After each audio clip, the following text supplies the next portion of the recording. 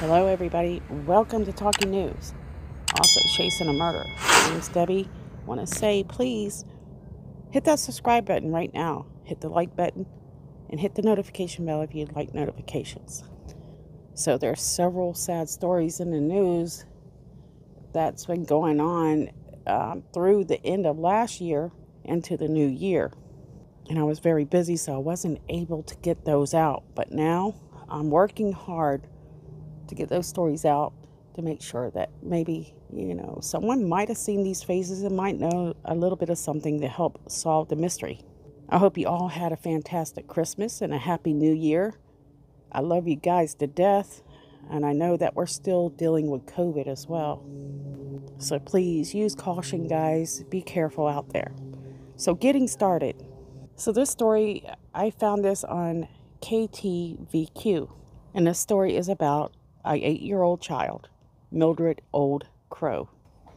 I've never heard of this story, and I just found it. But anyways, um, federal authorities are asking for the public's help in finding the eight-year-old Mildred Alexis Old Crow, who was last seen on Crow Reservation in Montana, and that was more than a year ago.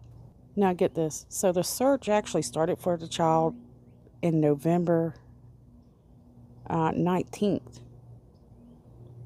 And this is after relatives told the Bureau of Indian Affairs that they had not seen her since July of 2018. Now, what's interesting is it's a statement released by the BA, I mean BIA, says that the federal agency and the FBI showed that the little girl was last seen on the reservation March of 2019 in the custody of her appointed guardian. So, firstly, I want to say that this little girl, she's also known as Millie. She's female, brown hair, brown eyes, and she was born May 3rd of 2012. They are saying that Millie is small for her age. And let's see if I can pronounce this. So, Veronica Teresa Dust and Rosine Lincoln Old Crow, both 34, were arrested and appeared in Bighorn County District Court, and that was just recently for an arraignment. And they are facing misdemeanor charge of endangering the welfare of a child. Does that sound familiar, guys? And of course, these arrests stem from the disappearance of this eight year old child who was last seen March of 2019 but they didn't really issue a child, in, well, it was a missing endangered person advisory, which was issued November 25th of 2020. That is crazy. That doesn't make sense to me. Now, they say that Dust and Lincoln Old Crow were arrested as, fugitives from Justice and Billings on December 23rd. The Crow tribe issued warrants for their arrest on December 16th, according to this, failed to produce the child, nor was a proof of life provided. Now that's scary. It's kind of the same thing that Lori Vallow case is following. And they say that the relationship between these two women and that child is unclear. But the warrant states that they are granted informal um, custodyship by the tribal court on or about March 14th of 2017. This seems like there's some red flags going up here, guys. So, Millie, who was six years old when she was last seen, and her current whereabouts are still unknown. The MEPA issued in November stated that she could have a possible physical injury.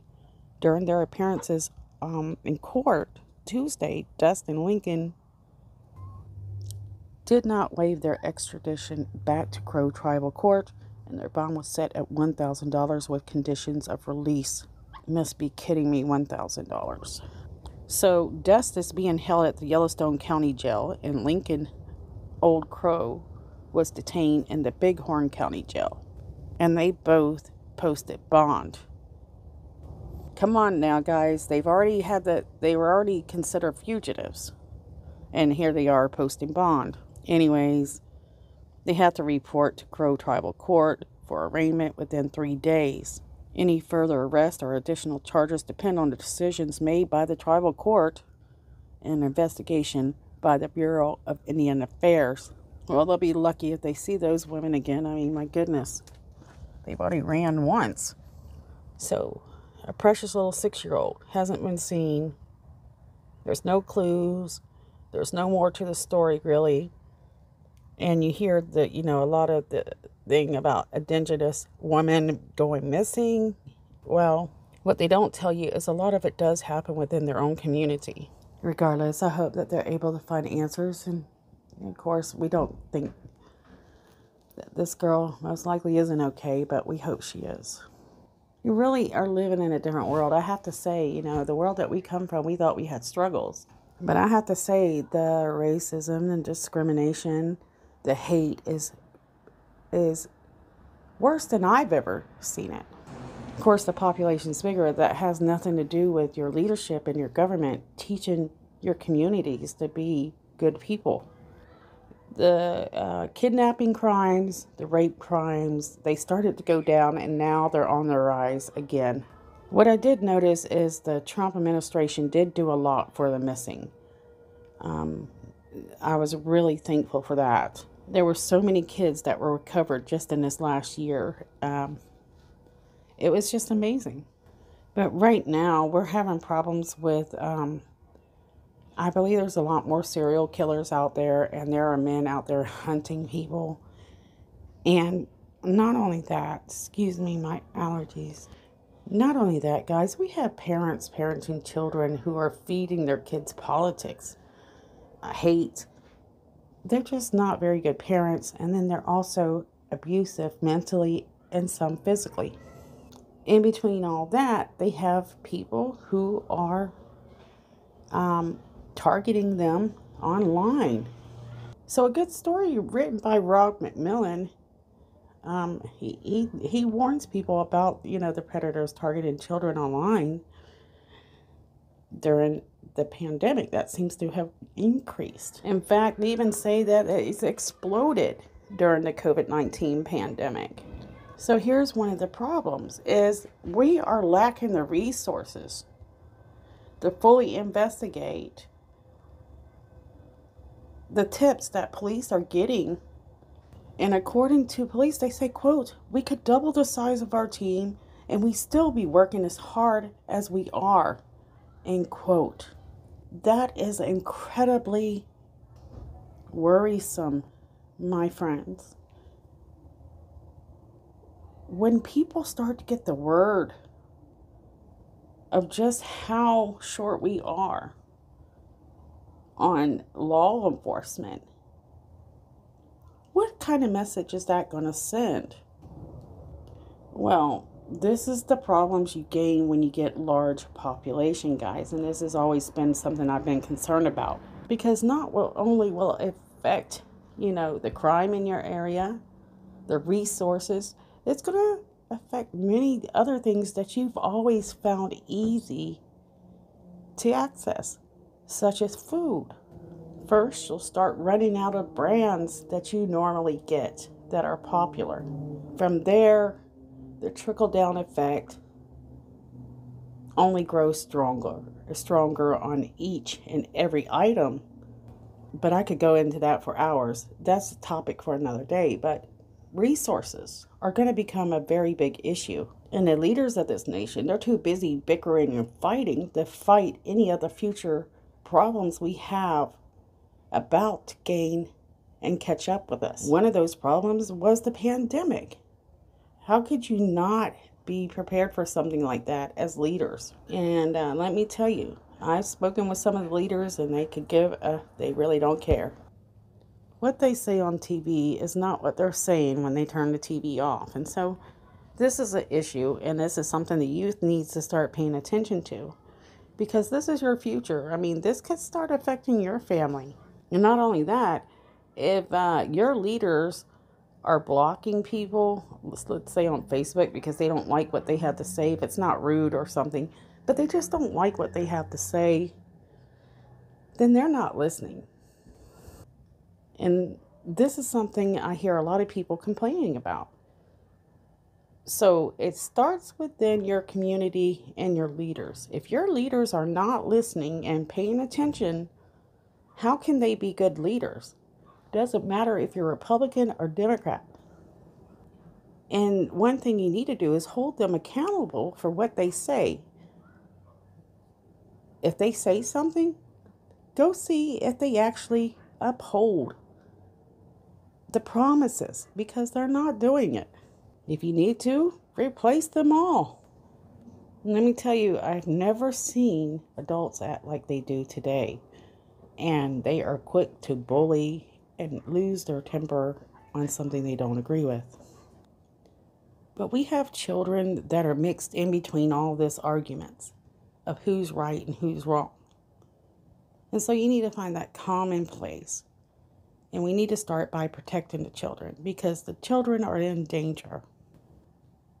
And if your leaders are not focusing on your children within your community and their safety, they don't have the resources available to deal with a problem, then you might need a new leader.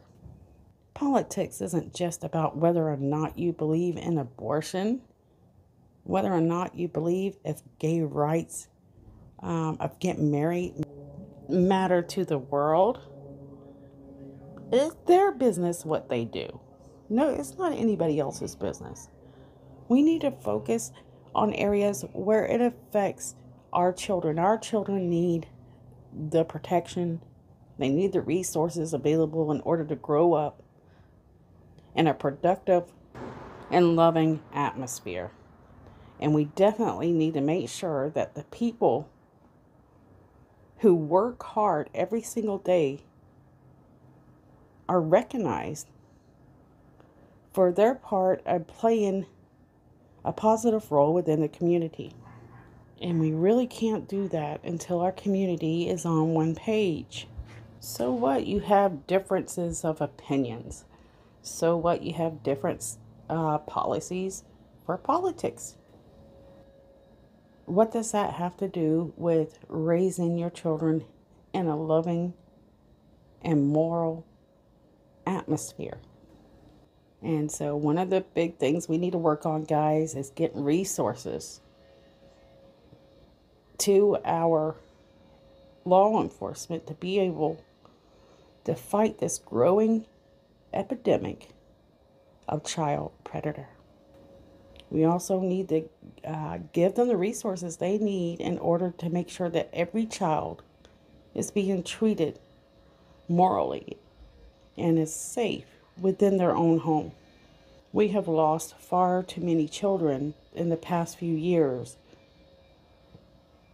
from, um, you know, their own parents hurting them and they've been doing it for years.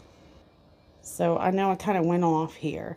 I don't usually do that, but yeah, I really feel like we, we lack resources of building a better community. Our schools definitely should be teaching our kids that they have somebody to come to if ever, you know, you feel like you're being threatened in some way or you're in danger, especially through the school system, and that doesn't seem to be available any longer. So the the the missing continue to grow and I don't think 2021 is going to be any different. We can continue to try to work on raising awareness and we can just do our part by sharing and letting people know that we care. But that's the best we can do for now. But reach out to your leaders, guys, and insist that they start taking part in finding ways to make sure that our law enforcement has the resources it needs for those who are being abused, hurt, and hunted. Again, no matter if you're Democrat or Republican, life matters, doesn't it? So you can agree on one thing children matter. And you really need to start pushing your leaders to start caring about your children and your neighbor's child. I'm going to go ahead and end it here, guys. Sorry I rambled a bit today. But I love you guys. Don't forget these faces. We have tons of women still missing out there. I love you guys. And I'll see you guys soon.